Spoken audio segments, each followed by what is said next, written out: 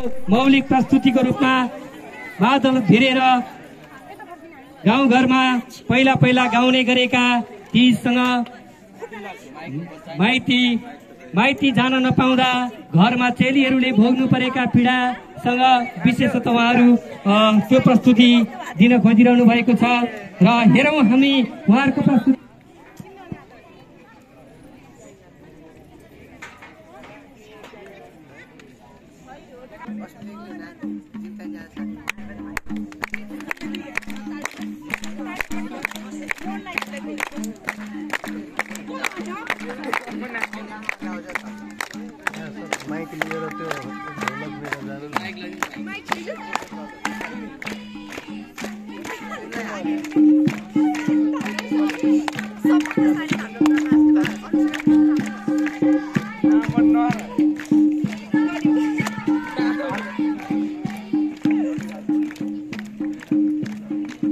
Hãy subscribe cho kênh Ghiền Mì Gõ